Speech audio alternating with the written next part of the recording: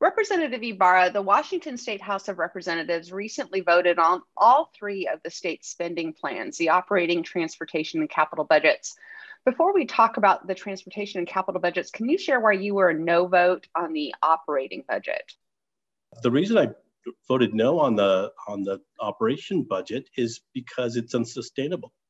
Uh, right now, just a couple days ago, we voted on a on a bill that's going to increase spending of 1.8 billion dollars.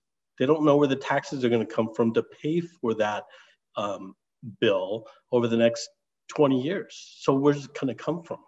They had some funds that are coming from the feds to pay for this year's stuff, but afterwards we have to come up with a billion dollars worth of monies. Where does that money come from? It has to come from the taxpayers. This budget did not have any sustainability for the future years. It's good for this year, maybe good for next year, but after that, we have to come up with dollars. What are some of the highlights from the capital budget proposal?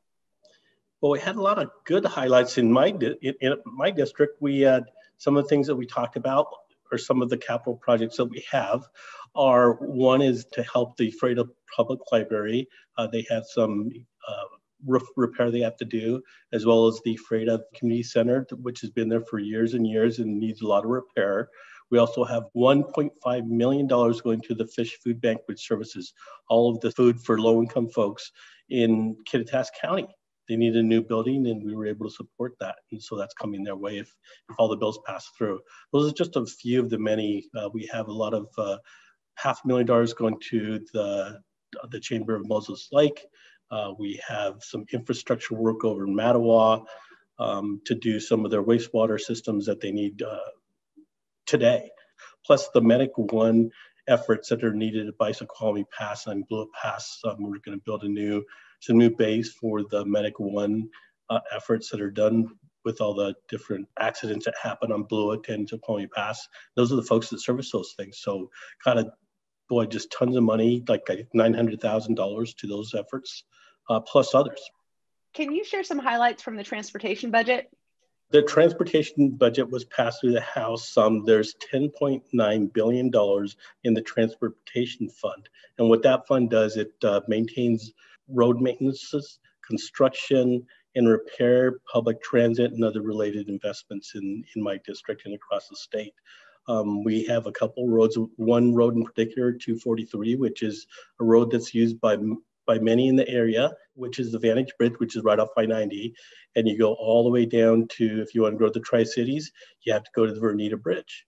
And so you go from Vantage to Vernita, and that road needs uh, lots of paving to be done, a lot of repairs. Lots more people are using it, and so they're asking for that to be repaired as soon as possible. So we have some funding for that if if uh, the budgets go through the way we hope they do. What happens with these proposals now, the operating, transportation, and capital budgets? Well, the leaders of the House, the Senate, and uh, the governor's office get together. And when I say leaders, the majority party, they get together. They're the ones that negotiate what the final budgets will be. Uh, the Republican or the minority party has little say in what the final outcome of those budgets will be. Um, so that's the, the dilemma we run into since we don't have, we're not the majority, we don't get a say in the final budgets. We put our, our two cents in, but that's sometimes that's what we get out of the whole budget because we're not in charge of a budget. We're not in charge of the negotiations, with the final negotiations of the budgets. We just have to wait and see what the final outcome is. Uh, we've done our best to put our inputs in and fought for what we think is most important, but it's not going to be up to us. It's up to the majority party that does that final negotiation.